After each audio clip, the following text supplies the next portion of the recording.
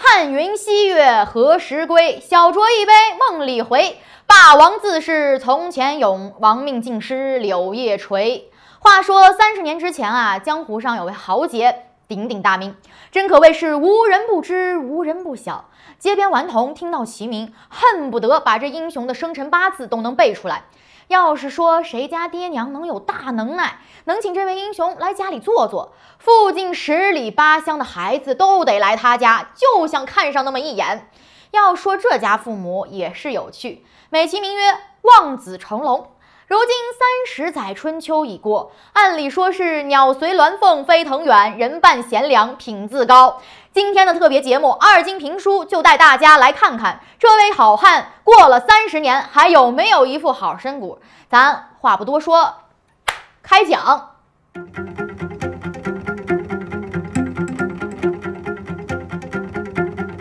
想必有小伙伴已经能够猜到，开头这段说的这位英雄，就是上个世纪末流行在全中国孩子印象里的小霸王游戏机。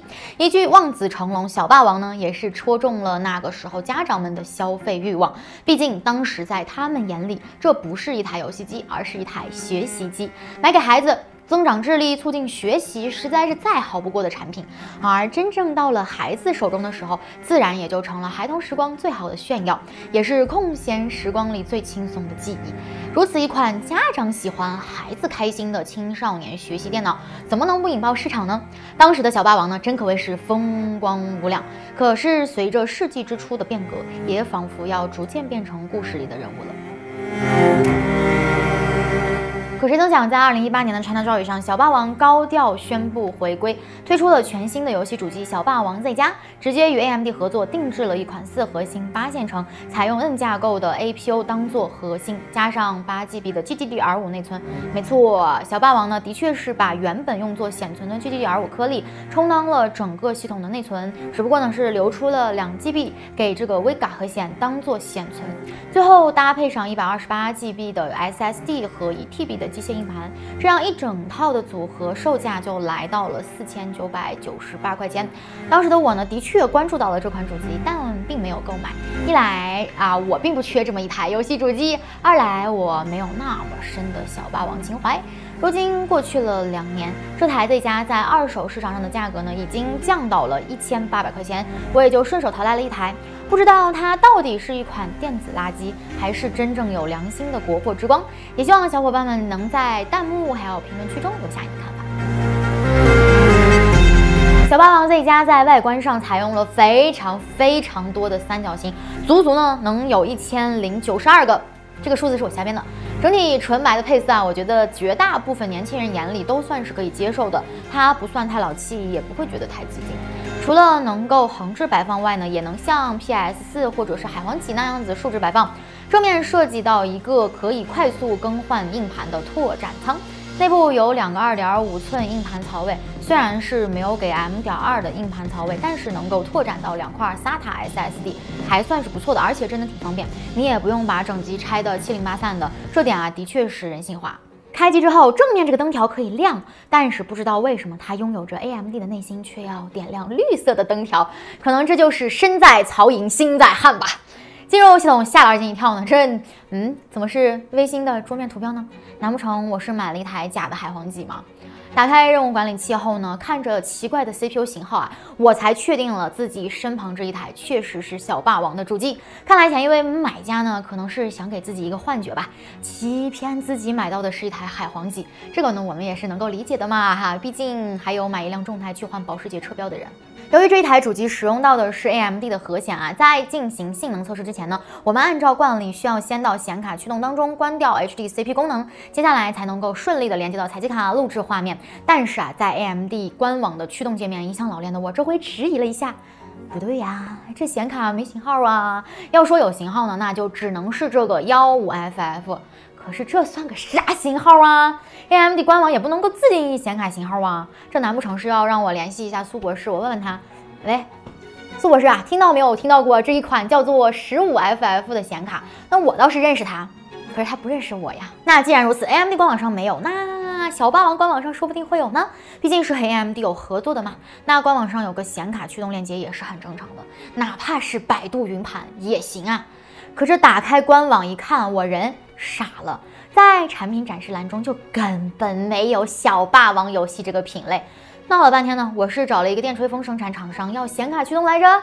但是转念一想，按照小霸王的逻辑，既然小霸王学习机等于小霸王游戏机，那么小霸王游戏主机要是被划分到教育产品里面，也是合情合理的嘛。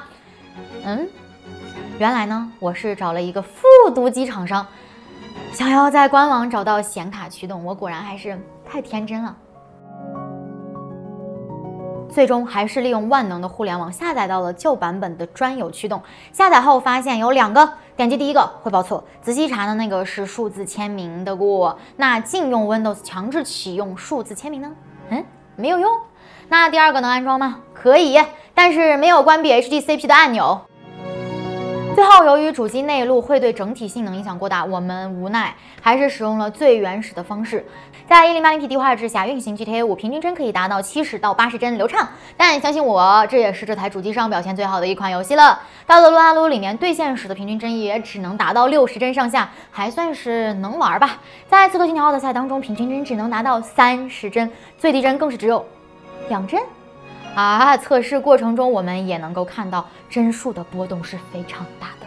到了孤岛惊魂新曙光这里呢，同样非常惨烈。虽然平均帧也有三十一帧的水平，但是由于两 GB 的显存不够这款游戏以低画质运行，所以最低帧只有四帧啊！真的就是 PPT 的水平，基本算是不可以玩的状态。那么在最后就是。几款在这台主机上完全不可以玩的游戏，首先是《古墓丽影：暗影》，进入游戏以后就是彻底花屏，完全无法正常游玩。这回就算你有眨眼补帧的神技，在这样子彻底摧毁游戏体验的花屏事故中，想必也是于事无补啦。而《绝地求生》与最新推出的 PC 版《死亡搁浅》则完全没有办法运行，更别说是游玩了。虽然啊，这是一台推出市场两年左右的游戏机产品，但目前在二金看来，有两点原因摧毁了玩家们在这台主机上的游戏体验。首先，且不说这台主机的性能如何，可怜的两 GB 显存也无法动态调整，导致在不少游戏当中啊，明明可以有更好的表现，但却有力使不出。第二，年久失修的显卡驱动，彻底让这样子的主机与一些新的游戏说告别了。当然，玩家们也没办法期待一家做电吹风与复读机的厂商在官网上留下游戏机的最新显卡驱动，这一点的确让人失望。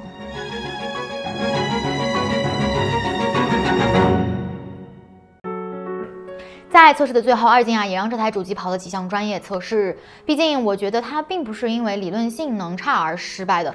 我们可以看到，无论是代表 CPU 性能的 R 十五、二零，还是综合测试的 Very Benchmark 啊或 PC Mark 十，再或者是代表显卡性能的 Superposition 啊、3D Mark 啊，哪怕呢是实际渲染能力测试的 Blender BMW 测试，这台主机的性能对于如今一千八百元的这个价位，多多少少还是说得过去的。就算你花了这个钱，把它抱回家，留给你的长辈们，让他们联网和老朋友下下棋，或者看看新闻，都还是足够的。如今游戏机的本世代终于快要落下帷幕了，次世代的曙光呢，已经笼罩住了游戏玩家们。可中国的游戏机产业可以说是还未起步就已陨落，中国玩家们也早把电脑游戏看作是游戏的全部，甚至是手机游戏都可能是一部分人对于游戏的全部定义。那我这里无意去讨论孰优孰劣，去讨论游戏比鄙视链这个问题啊。玩家群体本来呢就该是平等的，我只是想说，目前国内主机玩家的确是小众的，我们所获得的资源呢也的确是小众的。作为一名中国玩家，希望在我们这一代人越来越多的成为社会中流砥柱的时候，游戏作为第九艺术的游戏，未来在中国能够真正的生根发芽、开花结果。伙伴们，我们本期的节目到这里就结束了，感谢大家的收看。如果大家喜欢本期节目的话，请为二金点赞三连。如果你还没有关注我们，就赶快关注我们、订阅我们、打开你的小铃铛。我们下期再见吧。